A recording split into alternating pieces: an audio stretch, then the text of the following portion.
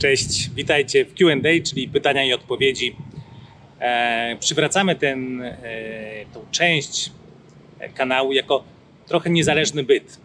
Będzie on się pojawiał nie w ramach samego kanału, a po prostu jako taki wolny rodnik, który będzie się pojawiał od czasu do czasu w miarę napływania Waszych pytań, na które będę starał się odpowiedzieć. Na tą chwilę mamy e, kilka takowych, które się przewijają dość regularnie E, I dzięki temu, że właśnie ten QA zostanie wyodrębniony z odcinka, będzie łatwiej je w przyszłości Wam odnaleźć. Gdybyście chcieli do nich wrócić, będzie to możliwe właśnie dzięki temu, że będzie to oddzielny mini odcinek. Pytanie dzisiejsze z Waszej strony dotyczy emerytur. Emerytur życia na starość w Kambodży. Jak to wygląda? Już kiedyś o tym mówiłem.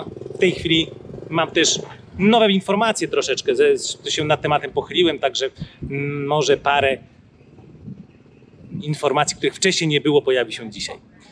Temat, można by powiedzieć, że i bardzo rozległy, jednocześnie bardzo krótki.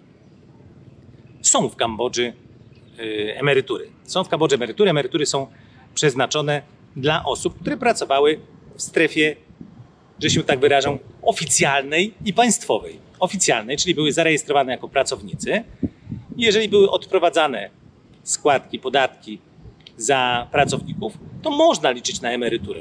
Ważne jest to, że jeżeli chce się mieć tą emeryturę na odpowiednim poziomie, należałoby się samemu doubezpieczyć lub załatwić tak, żeby pracodawca odprowadzał część naszych zarobków na prywatne ubezpieczenie. Takie ubezpieczenia są tutaj prowadzone, nawet banki mają takie specjalne oferty emerytalne, część pieniędzy, która co miesiąc trafia na to konto, jest przez bank używana, reinwestowana. E, gdzieś tam ryzyko tego, że te pieniądze zostaną stracone jest, ale bardzo niewielkie. E, natomiast tak, te pieniądze po prostu e, pracują na naszą emeryturę. Druga kwestia, wystarczy pracować w państw w budżetówce tak zwanej, po prostu czyli służba zdrowia, policja, żandarmeria, wojsko, czyli ten cały resort siłowy, ale również nauczyciele czy urzędnicy państwowi. Te grupy społeczne wszystkie mogą liczyć na emerytury, kiedy już ten czas emerytur yy, przyjdzie. Nie udało mi się zdobyć informacji, w jakim wieku przechodzi się tutaj na emeryturę. Yy, natomiast, yy, natomiast no, tak jak większość mieszkańców Kambodży, może tak, albo inaczej, duża grupa mieszkańców Kambodży takich emerytur nie ma. E, ze względu na to, iż pracuje się tutaj bardzo często na czarno e, lub nie pracuje się wcale. Są to, są to sytuacje dość powszechne i, i takie osoby na emerytury liczyć nie mogą. Bardzo dużo jest prywatnych biznesów, bardzo dużo jest takich malusieńkich prywatnych biznesików. E, stoisko z, z jedzeniem, street food, mała restauracyjka, y, sklepik obwoźny. To są biznesy, które doraźnie pozwalają przeżyć, ale nie ma z nich szans oczywiście na żadną emeryturę w przyszłości. I dlatego też w Kambodży funkcjonuje system wspierania się wewnątrz rodziny. Rodziny są zazwyczaj bardzo liczne e, i każde pokolenie ma swoje zadania do wypełnienia w ramach rodziny taką siłą napędzającą, a właściwie siłą, która powinna w domu przynosić pieniądze, są e, ludzie młodzi. Ludzie młodzi idą do pracy, zarabiają i przynoszą pieniądze do wspólnego rodzinnego budżetu. Młodzi ludzie mają dzieci. Wychowanie dziecka jest dość kosztowne, szczególnie posyłanie go do przedszkoli, których tutaj jest bardzo niewiele, jeśli są, to są prywatne lub posyłanie do szkół.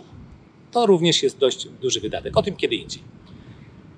Yy, dzieckiem małym trudno się zajmować, kiedy idzie się do pracy. W związku z tym właśnie te osoby starsze, dziadkowie, ich rolą jest pomoc w wychowaniu, w odchowaniu tych dzieci do wieku szkolnego.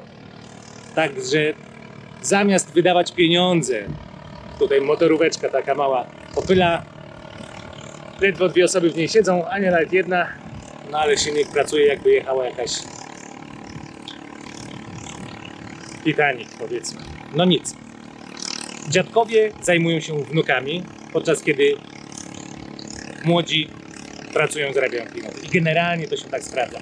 Rodziny często mają jeszcze jedno pokolenie, czyli pradziadkowie. Tutaj dość młodo cały czas ludzie wychodzą za mąż, dość młodo mają dzieci, także niejednokrotnie rodziny są czteropokoleniowe. Zazwyczaj mieszkają razem, yy, posiłki jedzą wspólnie, koszty rozkładają się na poszczególnych członków rodziny, Mm, no ale i zarobki też idą na wszystkich mieszkańców domostwa.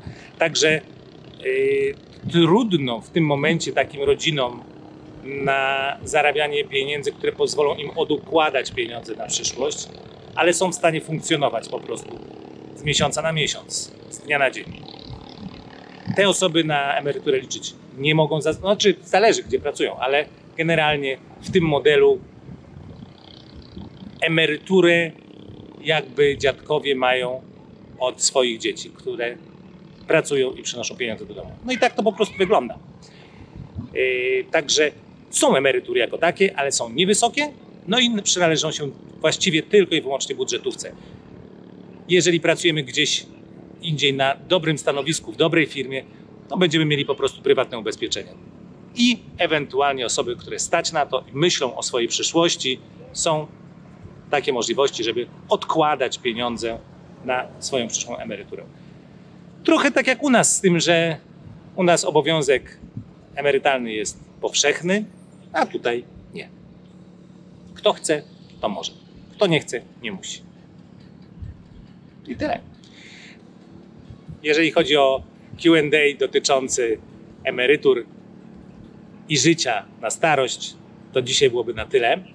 Gdybyście mieli jakieś pytania, bardzo proszę, śmiało w komentarzach e, dawajcie te, które będą najciekawsze i na które będę umiał odpowiedzieć. Postaram się jak najszybciej to zrobić.